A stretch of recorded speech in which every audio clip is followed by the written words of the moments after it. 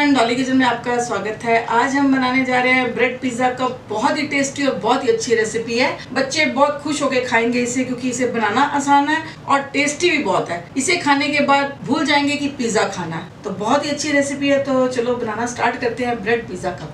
सबसे पहले हम पिज़्ज़ा के लिए स्टफिंग तैयार कर लेते हैं। इसके अंदर हम डालेंगे टमाटर, शिमला मिर्च, प्याज, थोड़े से डालेंगे कोन्स। फ्रोजन कोन्स लिए हैं मैंने। इसके अंदर हम डालेंगे थोड़े से चिली फ्लेक्स सीजनिंग में डाल देंगे ओरिगेनो चाहे तो बिल्कुल हल्का सा नमक। ज़्यादा नहीं, बिल्कुल हल्का सा। क्योंकि सारी चीज़ें ऑलरेडी नमकीन होती हैं। टमाटो केचप और इसके साथ ही मैं डाल रही हूँ इसे पिज़्ज़ा सॉस का टेस्ट देने के लिए शेजवान चटनी। अब इन चीज़ों को हम कर देंगे मिक्स ये हमारी पिज़्ज़ा की स्टफिंग तैयार हो गई है। हमने लिया है वाइट ब्रेड इसे हम बेल लेंगे। बेलने के बाद हम इसे कट कर लेंगे कोई भी ढक्कन ले सकते हैं आप। ये हमने अपने स्टैंड लिया है। इसे रख दिया है गैस पे।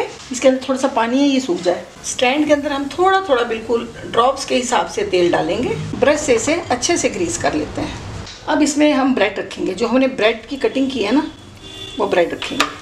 बहुत ही ईजी ये पिज़्ज़ा ब्रेड कप जो है, तैयार हो जाएँगे। अब इसके अंदर हम रखेंगे स्टफिंग तो यहाँ फिर मैं बताना चाहूँगी कि आप फ्लेम ऑफ़ कर दें। क्योंकि अगर ज़्यादा गर्म हो जाएगा ना तो ब्रेड पहले ही नीचे से पूरी तरह से जल जाएँगे या बहुत ब्राउन हो जाएँगे तो भी हमने फ्लेम को ऑफ़ कर रखा है। अब इसके ऊपर डाल देंगे पिज़्ज़ा चीज़ ये मैंने ग्रेटेड यूज़ किया है, अमूल का। आप कोई भी पिज़्ज़ा चीज़ यूज़ कर सकते हैं। फ्लेम को ऑन कर देंगे। लो फ्लेम पे हम इसे बनाएँगे और कवर कर देंगे। सिर्फ़ एक से दो मिनट के अंदर ये बन के तैयार हो जाता है। दो मिनट हो गए, हम इसे चेक कर लेते हैं। आप देख रहे हैं कि हमारा ब्रेड पिज़्ज़ा कप बन के तैयार है। एक एक करके इसको हम निकाल लेंगे।